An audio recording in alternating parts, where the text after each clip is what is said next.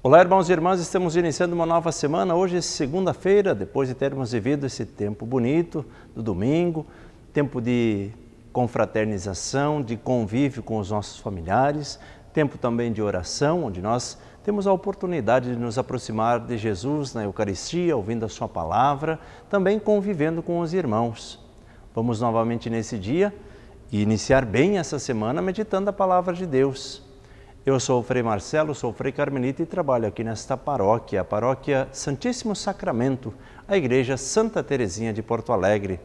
Que bom poder chegar até você por meio desse programa, uma palavra para o seu dia, por meio também da RCI, a Rede Católica da Igreja. Seja bem-vindo. Vamos meditar a palavra de Deus? Pegue a sua Bíblia e nós vamos meditar nesse dia o Evangelho de João, capítulo 10, versículos 1 ao 10.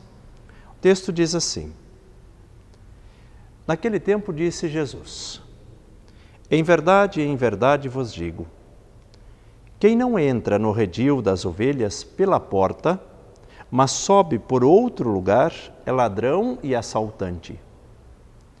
Quem entra pela porta é o pastor das ovelhas. A esse o porteiro abre e as ovelhas escutam a sua voz. Ele chama as ovelhas pelo nome e as conduz para fora. E depois de fazer sair todas que são suas, caminha à sua frente e as ovelhas o seguem, porque conhecem a sua voz.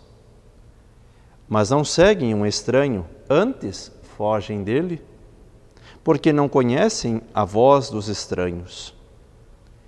Jesus contou-lhes esta parábola mas eles não entenderam o que ele queria dizer.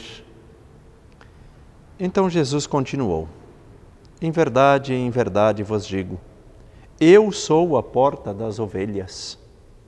Todos aqueles que vierem, vieram antes de mim são ladrões e assaltantes.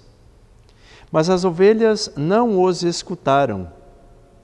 Eu sou a porta. Quem entrar por mim será salvo, entrará e sairá e encontrará pastagem.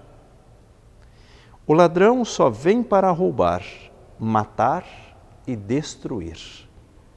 Eu vim para que tenham vida e a tenham em abundância. Palavra da salvação, glória a vós, Senhor. Vamos juntos meditar a palavra deste dia.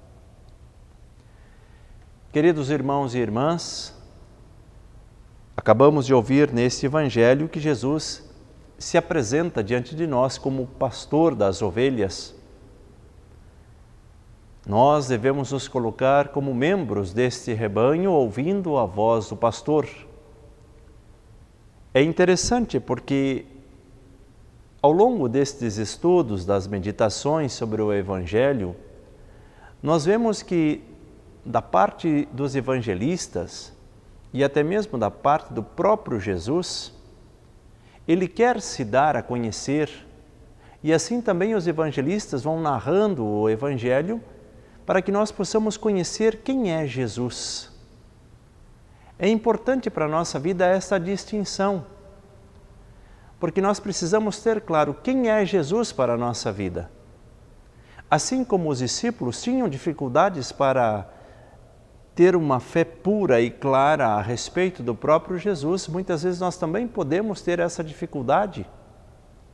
Porque nós podemos ter Jesus simplesmente como um curandeiro, ou como um profeta, alguém que faz milagres, alguém que pode resolver os meus problemas.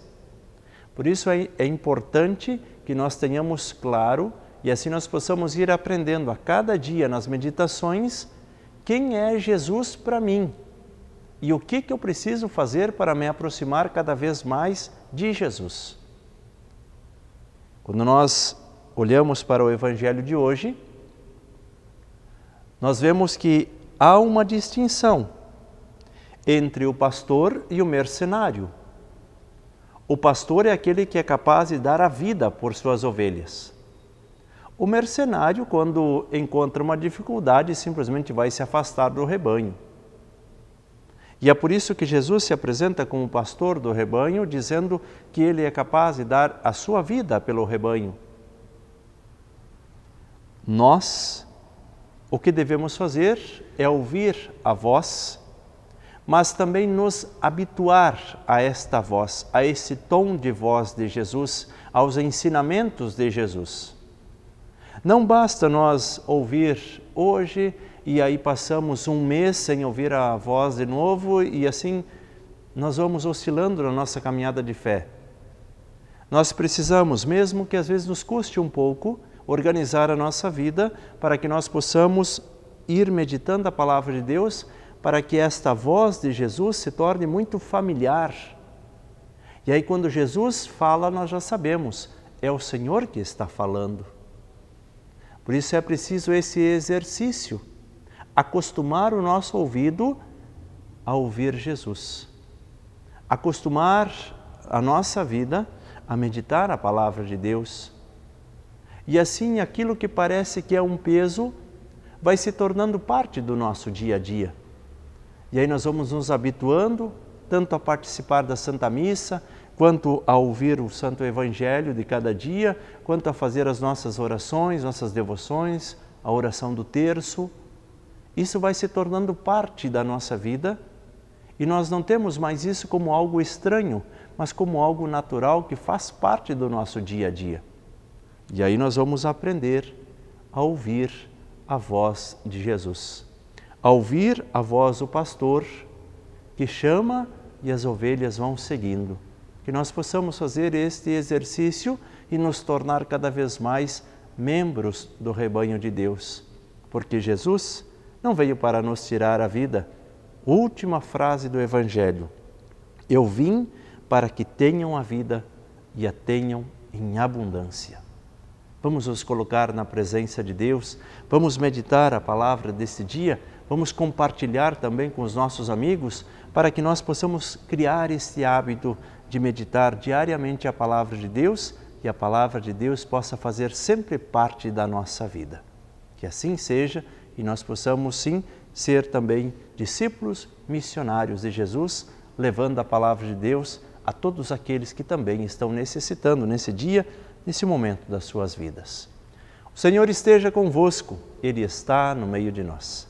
Deus Todo-Poderoso, por intercessão de nossa Mãe do Céu, a Virgem Maria, abençoe a cada um de vós, as vossas famílias, esta semana de trabalho que se inicia.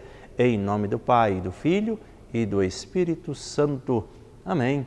Um bom dia a todos e até o próximo programa.